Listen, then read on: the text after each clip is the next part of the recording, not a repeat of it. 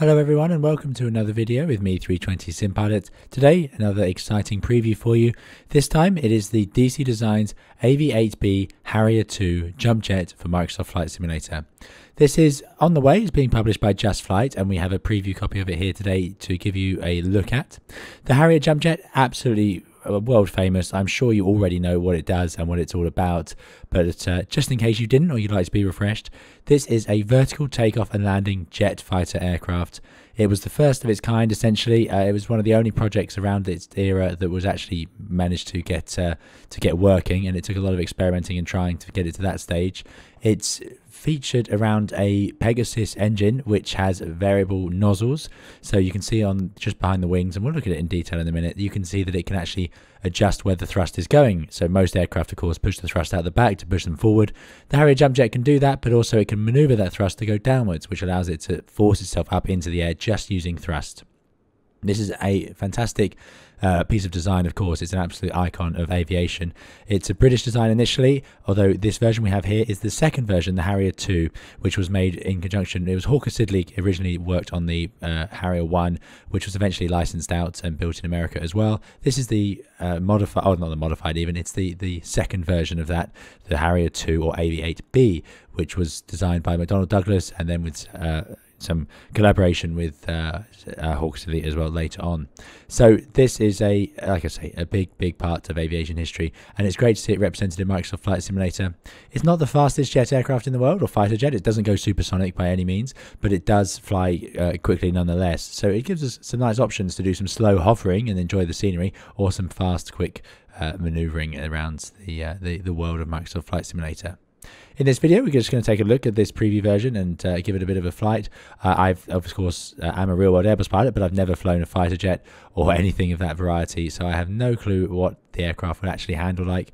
I have had some goes on the DCS version of the AV8B Harrier, so uh, yeah, that that's the, my limited experience, and I don't really know what I'm doing with that one. But for this video, I'm going to run through the startup. We're going to look at the checklists, and we're going to have a go at uh, the hovering, the short takeoffs, and the vertical landings, of course. This is a preview version, I must stress that, so it is not fully complete yet. There will be bugs and things like that that the developer is working on before release. Also, for those of you not familiar with DC Designs aircraft, they are uh, meant to be fun. They are detailed. They have lots of systems, the switches that work and so on, where they can. But not everything works, um, and that would be partly because of the simulator and partly because of complexities. Um, so they're designed not to be study level, as it were, although that's a phrase I don't particularly like, but they're, they're not study level or high, high detail. They are detailed, should we put it that way? Right, let's get started. Here are the different variants available. So we have the AV8B Harrier 2, Harrier 2 VMA 231 line, and there's a third version, the GR9 uh, RAF variant. So this had, uh, I think it was infrared sensors in the nose. So you can see some small changes to the visual model, the way the nose cones are set up and so on, which have been modeled, which is nice. Uh, in this uh, Harrier 2 Classic one that we've got, we've got two liveries. Both of them appear to be American uh, American, uh, I think they're marine liveries, but there we go. Uh, we also, if we look at the VMA 231 line, we have a few more liveries and options here. Um, this one's quite nice, sort of a dark grey livery. Uh, and then I think that's the yeah the Spanish Navy. There you go, and the Italians had it as well. Um, so perhaps uh, perhaps we should fly one of those around uh, in the in uh, Nice. And we've got the RAF version with a few RAF liveries available as well, Fleet Air Arm and so on. So very uh, there's the different versions currently in the the preview build. First of all, looking at the visual model on the exterior, you'll notice that it's pretty standard for DC Design's military aircraft at this stage. If you've used any of their other aircraft, you'll know what you're in for.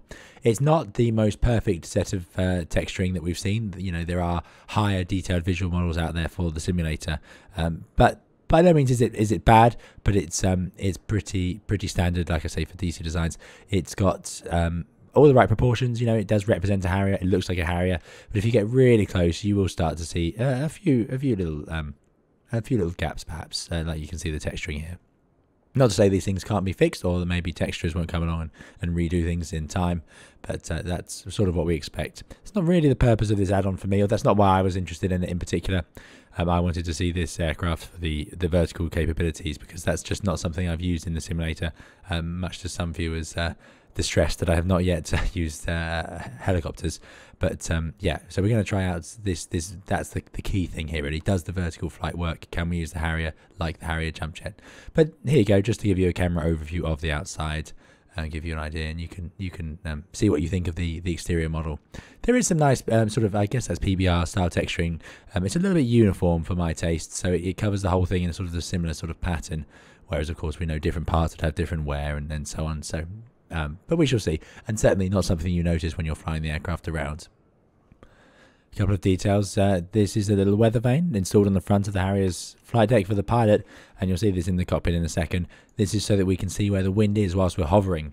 It's very important for the Harrier that it hovered straight into wind uh, when it could, because of course it needed air going into the engines at the right angle. If it was going in a, a strange angle, it would eventually push the aircraft into a roll and make it uncontrollable uh, if it wasn't carefully created. So that weather vane is there on the front, which is pretty great to see.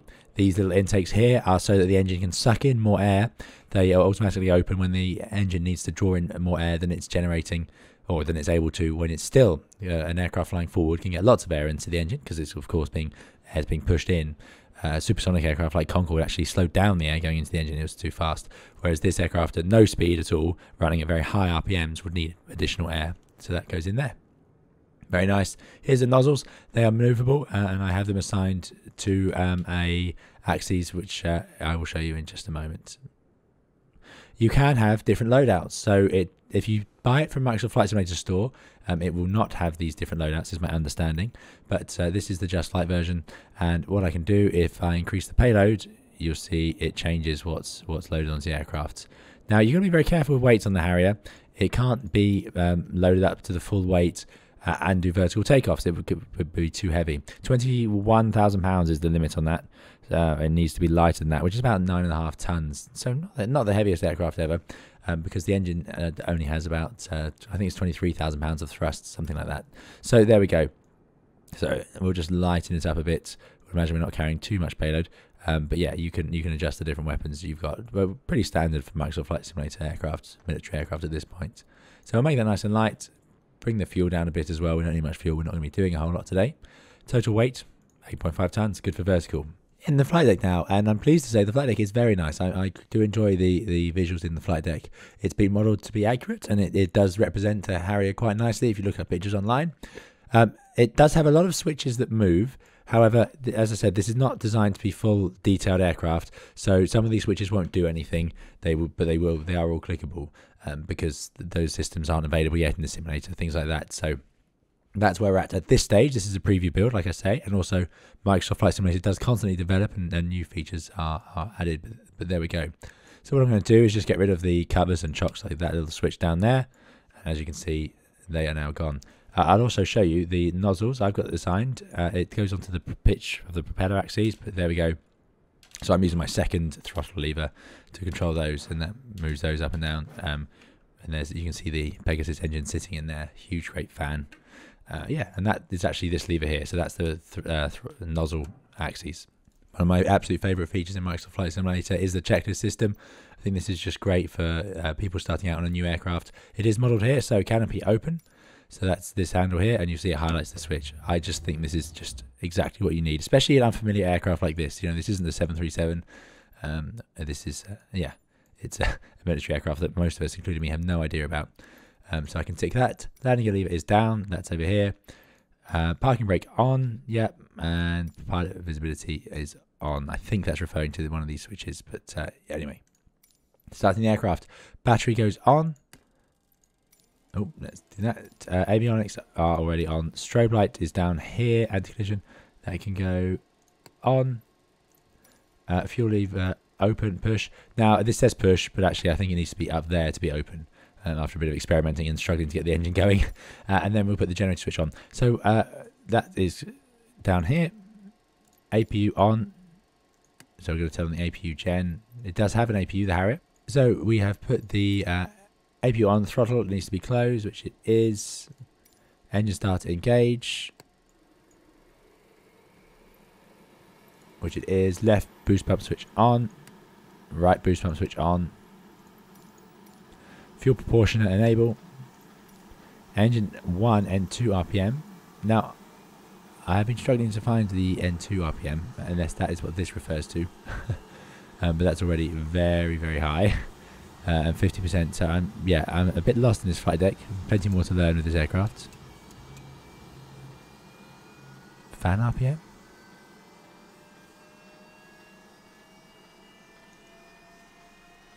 You can see here, I I'm not familiar with these these systems. Not going to be super functional. This is Microsoft Flight Simulator, but there are some things here. If I knew what I was doing. So, engine N1, sorry, engine N1, N2, 50% higher. T's and P's as expected. APU off. It's already gone off. Engine 2 engage. Uh, I'm not entirely sure about this sequence. I need a, I, I need a bit more instruction before I can work out what all these do, but it seems to work. We can close up the canopy. I'm just going to turn up the audio and let you hear.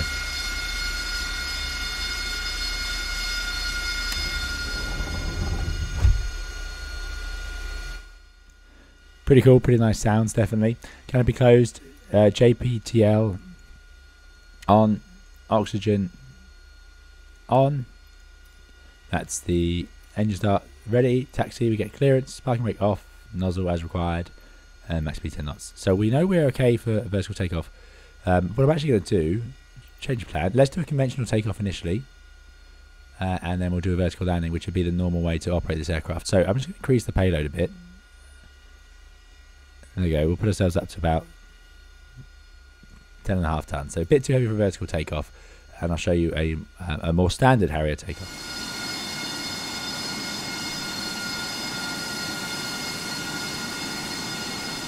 Let's go then. Parking brake released. Uh, nozzles are full forward. That's displayed over here with the nozzle degrees. So you can see there. So now if I rev up the engine, hopefully you can hear it okay. Uh, it just moves forward. Now the Harrier taxis quite slowly. It's got these um, outboard landing gear that make it uh, quite awkward in, in sort of strong crosswinds and things like that. Um, or it certainly feels to me so far. But uh, yeah, so nice gentle taxi speeds. Now we're going to head out to the runway and you can see the little wind vector swinging around. So if we find a windsock anywhere, we can see that it would actually be a tailwind if we go in this direction. So we're going to line up and take off in the other direction. So let's do that. And this should work with the, the wind. So we'll run our next checklist. Taxi checklist. Oh, we've done all that. Uh, so take off. Landing light can go on. Navigation lights on, and if you're not sure, you can highlight it, which I really like. Let me slow down. On. V/STOL switch as required. So this is the flap switch. So you can have it in auto, you can have it in uh, STOL, where it will um, be ready for the vertical takeoffs and landings, or we can have it in uh, the cruise position. So I'm going to put it into, I think auto, but I'm not 100% sure on that. I, maybe I should do a STOL. We're doing a short takeoff this time. Let's do a short takeoff. So there's lots of flaps out. Nozzle limiter as required. So the nozzle limiter is something pilots will just use. It's this switch here. It does move. And what it's for is to um, make sure that for our weight, we don't put the nozzles too far down. I.e. we don't try and hover, I think is the idea. Um, anyway, I'm going to just move it right out of the way because I don't know what position it should be in. But if I'd worked out from some calculations, I suppose, which nozzle I want for takeoff, I could limit the nozzle position to that setting. Um, and it does work. You'll see that if I set the limiter uh, like there and then try and go past it, it gets driven back. Um, up, move that forwards. There you go quite a neat feature. Good, so that's now out of the way so we can move the uh, the nozzles as we need to, which is what I want. Uh, nozzle angle as required. So I'm going to leave it initially behind. So I have no idea what the procedure is for this, but what we're going to do, is something I've found online somewhere, is that if we accelerate around 65 knots, I'll shove the nozzles down uh, and then hopefully launch the aircraft up into the air. Elevator trim is set 5 up, throttle as required for weight. So rotate 120 knots, raise degrees, raise nose to 10 degrees and hold but I'm going to uh, cheat and I'm going to go a bit earlier. I'm going to put the nozzles down and see what happens. Um, and then gears got to be up before 250. Okay, that's the end of that checklist. We know the wind, so close that. which gets rid of that little eye. And there we go. Some nice sounds, certainly. See the HUD is, uh, yeah, working as you'd expect. Moving around with, your, with your head position adjusts, which is great. Okay, so remember here, nozzles full back, by which I mean that they are pointing straight behind us. I'm going to go full power. I don't know the power settings. And then at 65 knots, I'm going to shove the nozzles down. Okay, let's go.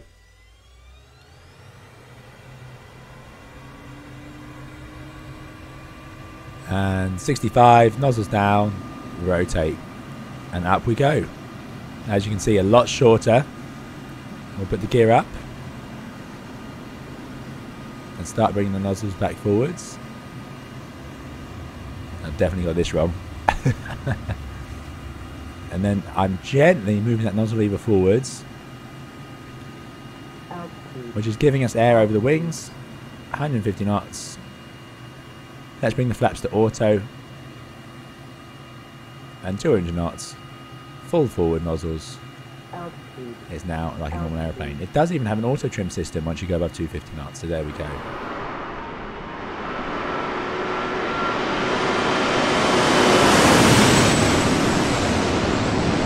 So that is our short takeoff. I have no idea. I'm sure that's wrong.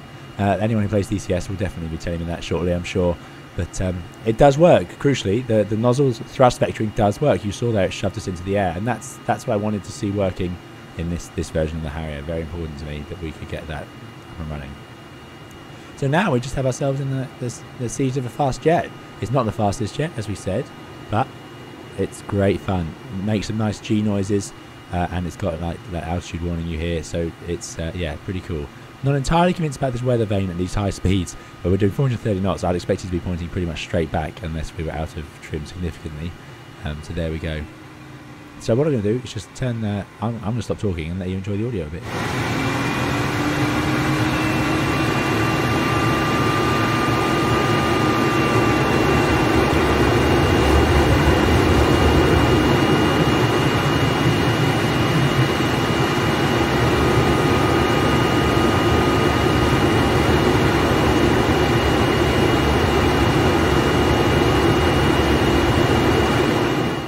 On the flight model. I do enjoy it at the high speed range in the conventional sort of flying sense. Uh, I find that in the conventional uh, setup it is slightly uh, difficult in the low speed range, but that could be the way I'm operating the aircraft, or it could be a few bugs still in this preview build. However, I find the hovering aspect incredibly enjoyable. It's surprisingly maneuverable. There are a couple of bugs in there still, but it is uh, it is a real treat. You can really maneuver it around uh, in the hover quite nicely, as you'll see later in this video.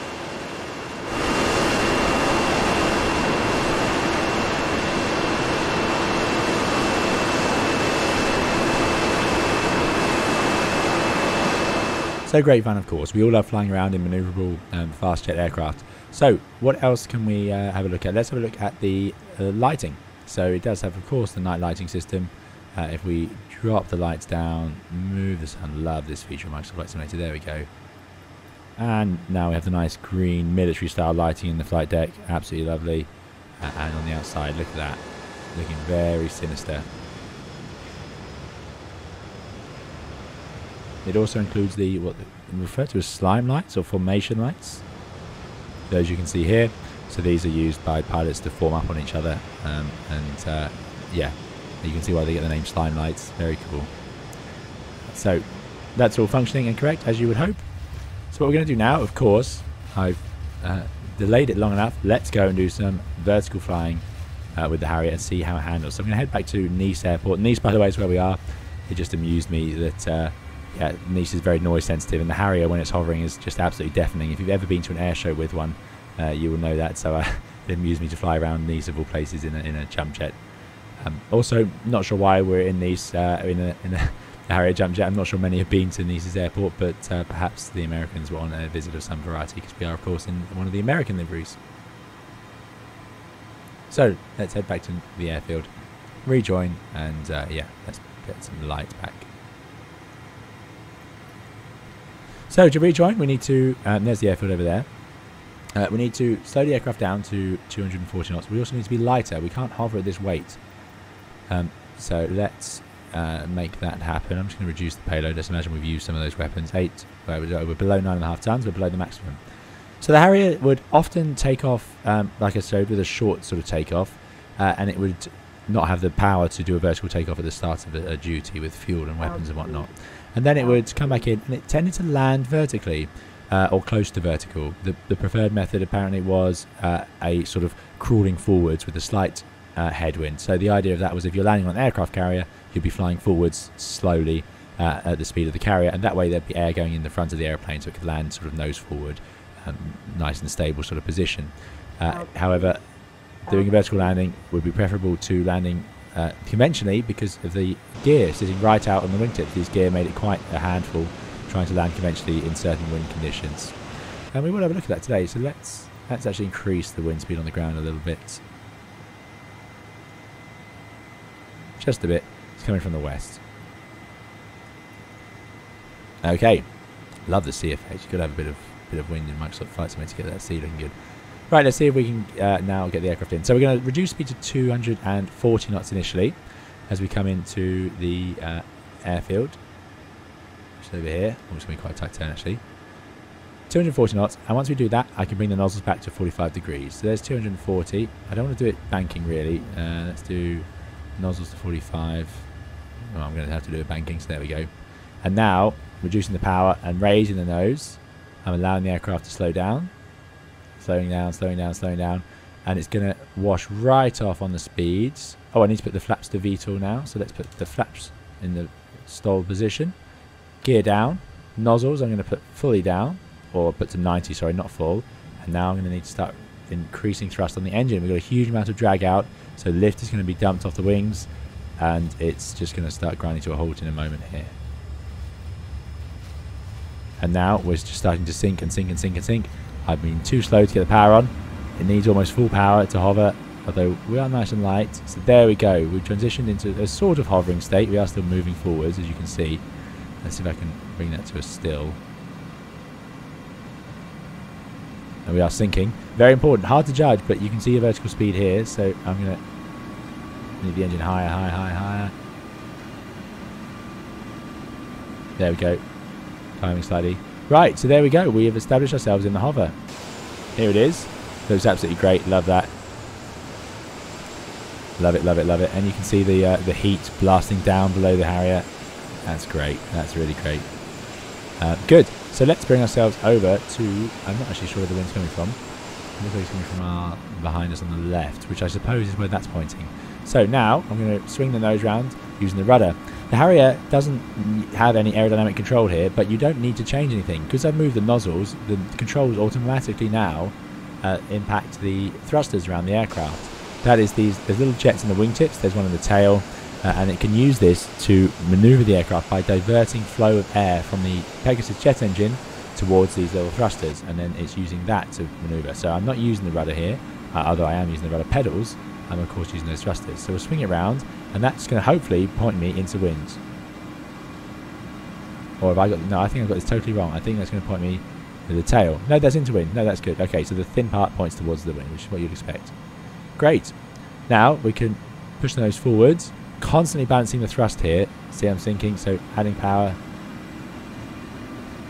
It needs a lot of power, the Harrier. It, it can't hover at sort of 50%. You're going to need most of the, your thrust.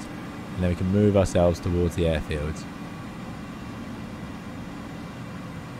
And you can see it says something 30 knots. We know we're not. That's just the wind um, added in. I love that vibration effect when you really rev up the engine as well. It's uh, That's a nice little detail in this, this add-on. So here we go, bring ourselves in over the runway now. This would be the sort of standard way to land vertically, uh, pointing into wind. And then we're going to raise the nose back up. I'm not fiddling with the nozzles at all. They're in 90 degrees, so that is the, the hovering position, as it were. Flaps are in that VTOL position, as I said, basically down. Um, and now I'm going to raise the nose. Raise the nose. And if I pull back enough, it gets into the hover. There we go. Now, I'm going to gently reduce thrust. Thought too much. And hopefully, there we go. Settle down onto the deck. And we are down. And that is the Harrier jump jet vertically landed. How cool is that? Great fun. Right, next trick, of course, is the vertical takeoff. So this is uh, very straightforward. 90 degrees on the nozzle, which we've got. Uh, and I am below the maximum weight. I'm going to increase the thrust, increase the thrust, increase the thrust. Essentially, it's the reverse of what we just did. So we can just go full power, and she'll lift up off the ground. There we go. And now I want to transition to forward flight. Tilting the nose forwards. Get some energy into the aircraft. Forwards, forwards, forwards. Go on aeroplane. Don't go up anymore. There we go. Trickling the nozzles now forwards. Uh, or I'm moving my lever forward, but what I'm essentially doing is moving the nozzles back. You can actually see it down here. Getting air over the aircraft. Gear up. Forwards, forwards, forwards, forwards. Bring the flaps to auto. Slightly dangerous departure that. and then away we go. And we're now in a, a conventional flying aircraft. Pretty cool, pretty cool. So the last thing we're going to try is uh, a conventional landing. So it seems to me that this wind vector is actually, it does, it acting like a windsock. It's always showing the wind, but that's the actual wind from the ground. So as I turn, it's going to point behind us. Um, it's not showing us the relative airflow, which is um, a bit of a shame because, of course, I'm assuming in the real aircraft it would just act like a windsock and constantly point straight uh, when you're flying this. But I'm not sure of that. I'm not 100%. Love that sound. And if we look outside, I love the vape off the wings. Really nicely done. That seems to be improved a lot uh, since the last military aircraft I flew in, in Microsoft Flight Simulator. Right, let's bring ourselves round um, back to the other side because otherwise we're landing the tailwind. So we'll land on 2-2 and we'll do a conventional style landing.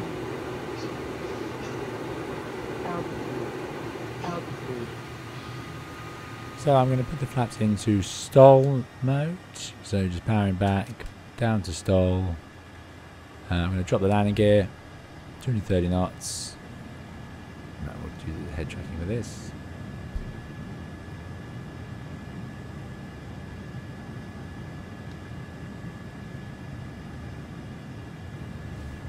Right, round we go. Keeping the power on. Lots of drag from those flaps.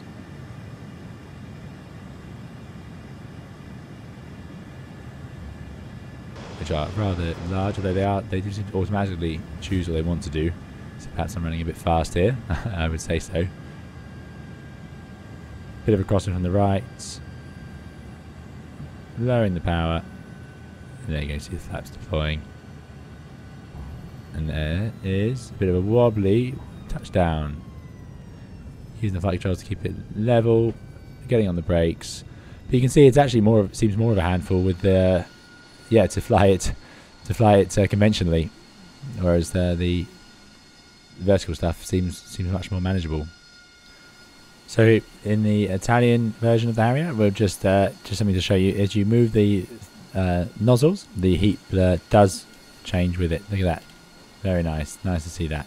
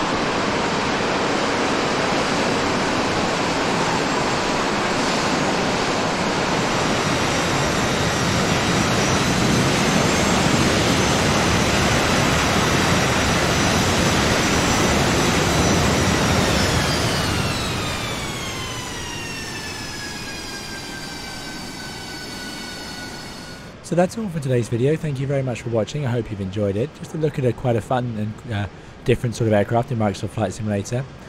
It is a preview build, as I said, so uh, things will be changing, I'm sure, before release. Uh, but hopefully, this has just given you a bit of an idea of what it's all about.